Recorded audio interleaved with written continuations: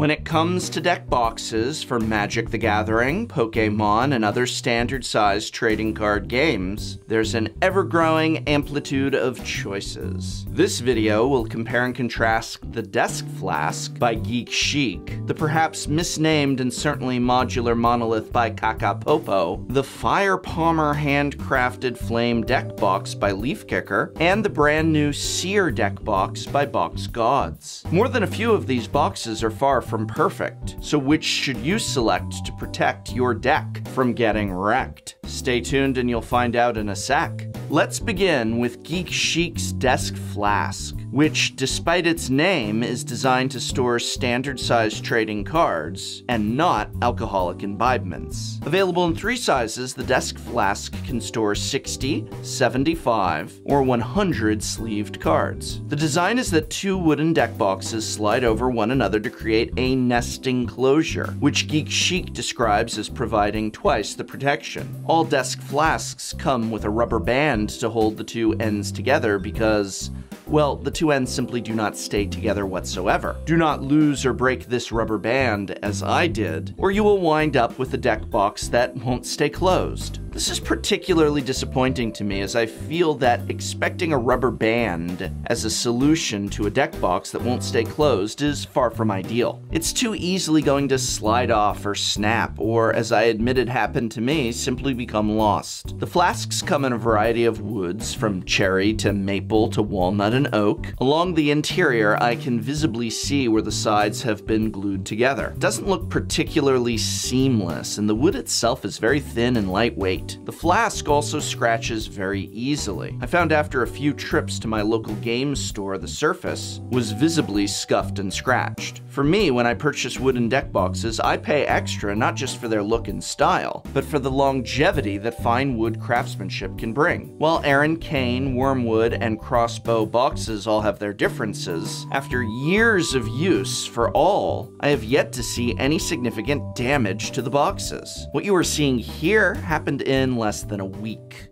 So if you don't have the rubber band, well, there's going to be a problem, but there's another issue as well. So I've reviewed several wooden deck boxes on the channel before, and one thing that I noticed was that all of them boasted about their endurance, even going so far as to encourage people to stand upon them. Geek Chic, however, did not boast this, and since the box felt very light and flimsy in my hand, I thought I would give it a test. And before you make any comments about how dusty my floor is, take a good long look at the floor you're walking on before you judge.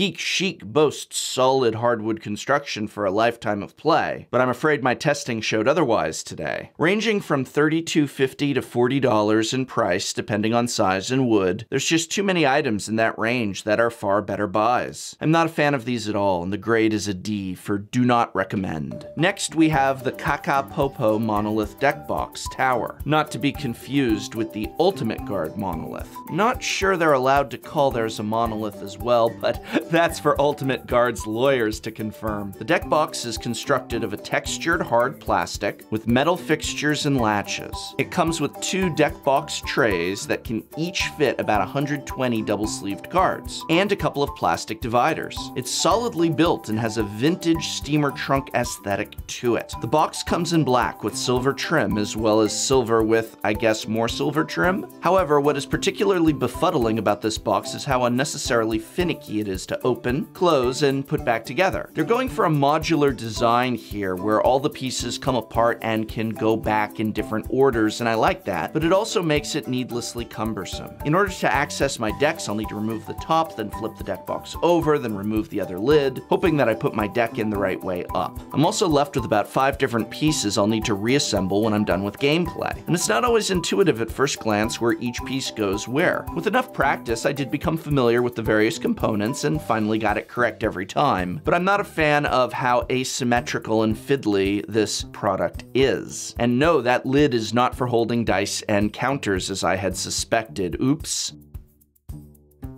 Also, the box is really quite large and clunky. Yes, it is holding two 120 card decks, but if we compare it to the Ultimate Guard Dual Flip and Tray, which holds the same, or just the Ultimate Guard Monolith or Ultra Pro Tower, then we can see how the Kakapopo deck box is far from sleek and slender. And also, with those latches protruding, it really makes it annoying for sliding it in and out of your bag. In addition to all of this, this box doesn't even have space for dice or counters, which the other three designs show shown here each has. For a product of this size, that's both perplexing and disappointing. Now, if for some reason you'd like to add more deck box space to your tower, the Kakapopo Monolith actually has modular attachments you can purchase to add on, ad infinitum. Each attachment is identical to the middle part of the original deck box, tray included, and you can stack them on each other as needed. While this conceit is almost clever, it makes for a very awkward deck box tower. I mean, is this really the best way to add space space.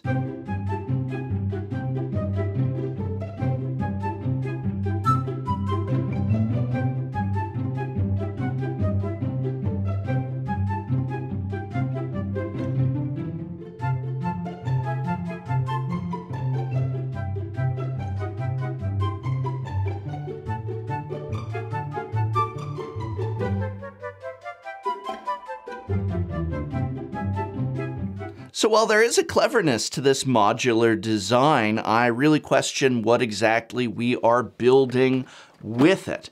I love the idea of a customizable deck box where you can set it up as you need it, but is this what you need? Obviously, I've put them all together for an extreme example, but even going down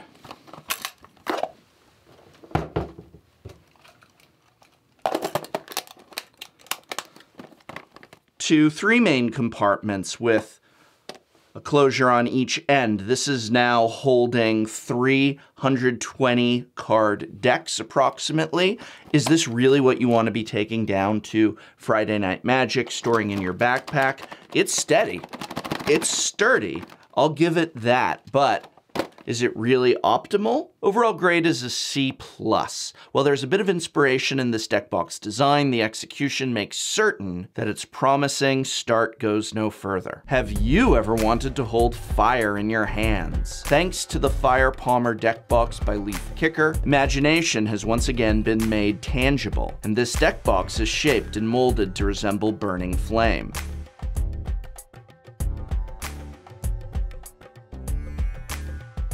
Handcrafted from a polyurethane casting resin, Leifkicker has incorporated cold cast techniques using 325 mesh metal powders, special dyes, and acrylic paint, and finished all of this with three coats of auto-grade clear protectorant. Hey, and it even has a button that lights it up.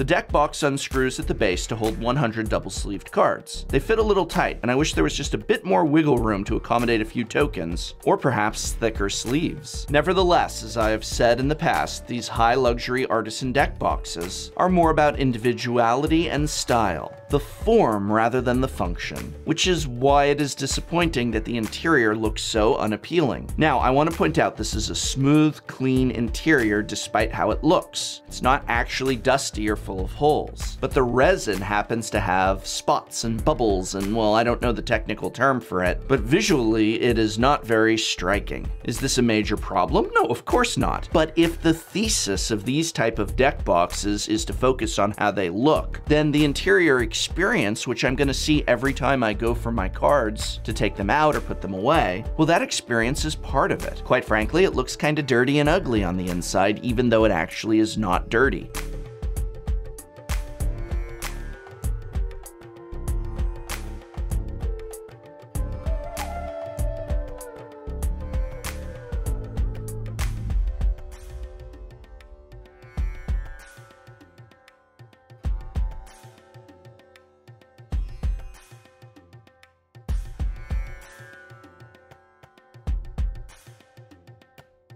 In addition to all of this, I am disappointed that the light does not work particularly well, if at all, when a deck is actually stored inside it. I adore the fact this deck box lights up, but when that feature is essentially disabled when I put a deck in it, well, again, this is far from any sort of major problem, but I feel they are aesthetic areas that can be improved upon.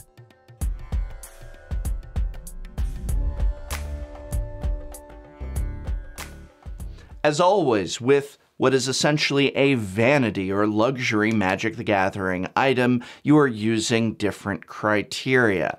This is not exactly the deck box that you're going to take to a GP. Rather, it's what you're going to put your favorite Magic the Gathering deck in. Hopefully, the artistry of this piece expresses or embodies something about that deck or yourself as a player. It's a talking point. It's a thing for that which is most special to you in the game, and it is more meant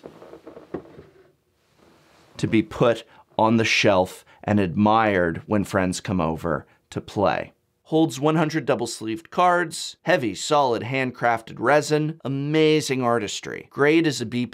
I'd still like to see that interior cleaned up and the light either made to work with the deck box in it, or you know what, maybe it doesn't need to light up and we can replace it with storage for dice encounters. Brand new on the scene is the Seer deck box. The Seer is constructed of high-grade machined aluminum with acrylic side windows and dual four-port magnetic covers. Honestly, this looks to me like something made by NASA. Currently, the Seer only comes in one style, which is a three compartment design. Although it is available in a wide variety of colors, the main compartment can hold 75 single sleeved or 65 double sleeved cards, with a second compartment which can hold 25 single sleeved or 15 double sleeved cards. So ultimately, this is going to be for players with standard 75 card decks. While EDH and Commander players can make use of the Seer, your deck has to be single sleeved, and also all 100 cards will have to be divided between the two compartments. I hope very much we will see additional sizes and variations offered soon. I kind of wish that the divider had the option of coming out too. The third and bottom compartment is for dice and counters, but sadly, it is too shallow for the standard Magic the Gathering spin down dice. Smaller d20s and of course small counters fit fine, but it's a bummer this can't fit the most commonly used size of spin down for Magic the Gathering players.